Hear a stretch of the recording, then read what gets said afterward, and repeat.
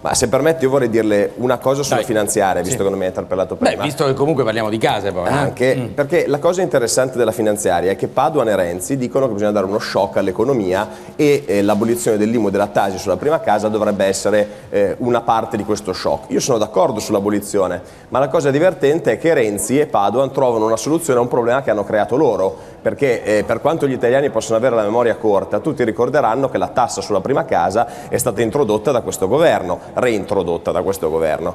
E lo stesso vale ad esempio anche per il discorso del contante circolante. Noi sono, è un anno che diciamo che bisogna alzare la soglia perché la soglia di soli 1000 euro per gli acquisti in contanti è troppo bassa e oggi Renzi che aveva, che aveva introdotto questo, che aveva introdotto questo limite così, ci, viene dire, ci introdotta- viene a dire che possiamo alzare, che possiamo alzare a 3.000 e la presenta come una Ah. grande innovazione. Quindi ci fa piacere che Renzi abbia fatto marcia indietro, ma di fatto lo ha Non fatto. era il governo Letta che l'aveva introdotta. È stato prima il governo Monti, poi è stata proseguita dal Letta. governo Letta e da Eh, Renzi. voi eravate sempre comunque Noi siamo sempre stati contrari, diciamo. adesso Renzi in qualche modo ci dà ragione, quindi dà soluzioni a problemi che la sinistra ha creato in Però questo paese. mi viene da domandare.